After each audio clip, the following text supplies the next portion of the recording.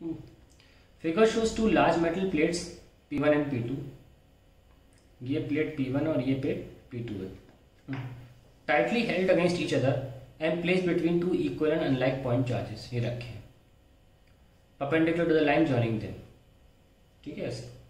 What will happen to the plates when they are released देखिए, ये plates joined है। तो एक तरह से ये एक सिंगल कंडक्टर की तरह काम करेंगे। ठीक है? और सिंगल कंडक्टर का मतलब ये हुआ कि यहाँ पर इलेक्ट्रिक फ़ील्ड हर जगह ज़ीरो यहाँ प्लस क्यू यहाँ माइनस इंड्यूस हो जाएगा और सारी इलेक्ट्रिक फ़ील्ड लाइन्स जो होंगी वो इस पर गिरेंगी परपेंडिकुलरली ठीक है? तो एक तरह से मैं सेकेंड पार्ट भी सॉल्व कर रहा हूँ. Draw the pattern of electric field lines for the system और यहाँ माइनस क्यू है तो यहाँ पे भी परपेंडिकुलरली गिरेंगी. ये लीजिए गिराई परपेंडिकुलरली तो हमने एक तरह सेकंड पार्ट आपको दिखा दिया। पर पहला पार्ट क्या है? What will happen to the plates when they released suddenly जब प्लेट्स रिलीज़ होंगी तो भले ये दो पार्ट हम चाहे तो बना दें ऐसा हल्का सा क्योंकि यहाँ प्लस क्यू है ना, और यहाँ माइनस है तो इस तरफ़ अट्रैक्शन होगा इन प्लेट्स का। ये जो प्लेट है रिस्पेक्टिव प्लेट्स अपने प्लस क्यू और ये ये माइनस था तो यहाँ पे प्लस इंड्यूस होगा। ये अपने माइनस क्यू की तरफ़ जाना चाहेगी। तो एक तरह से ये प्लेट आपस में रिपेल होंगे तो लिख लेते हैं solution one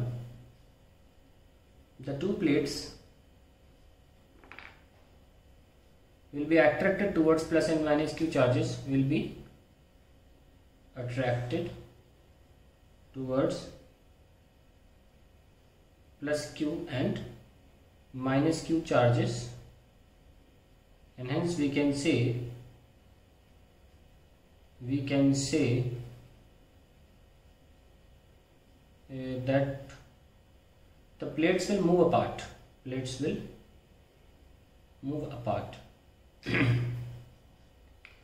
और दूसरा तो हमने बना ही दिया है डायग्राम जो इलेक्ट्रिक फ़ील्ड लाइन का। बीच में कोई फ़ील्ड नहीं होनी चाहिए। हालाँकि जब आप छोड़ेंगे तो हल्का सा एयर गैप आ जाएगा। पर मैं उसको इतना तवज्जो नहीं दे रहा हूँ इतनी इंपॉर्टेंस नहीं दे रहा हूँ कि इतनी छोटी सी जगह पर आ, मैं इलेक्ट्रिक फ़ील्ड अज्यूम करूँ। क्योंकि देखो अगर मैं जो उनको अलग करूँ थोड़ी देर के लिए फ्रैक्शन ऑफ़ सेकंड के लिए तो यहाँ पे माइनस था तो यहाँ प्लस आ जाएगा, है ना? और यहाँ माइनस आ जाएगा और फिर अट्रैक्ट होने लग जाएँगी। हम उसकी बात नहीं कर रहे। ये तुरंत की बात हो रही है ना? तुरंत के केस में ऐसा नहीं होगा।